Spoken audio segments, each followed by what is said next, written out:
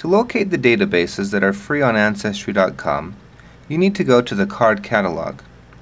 Move the mouse over the search button at the top of the screen, and then select Card Catalog.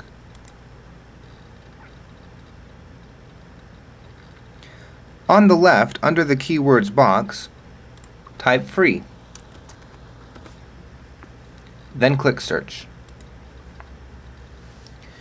The databases that appear on the right are free to use by anyone who has logged into a free registered guest account. There are several pages of free databases.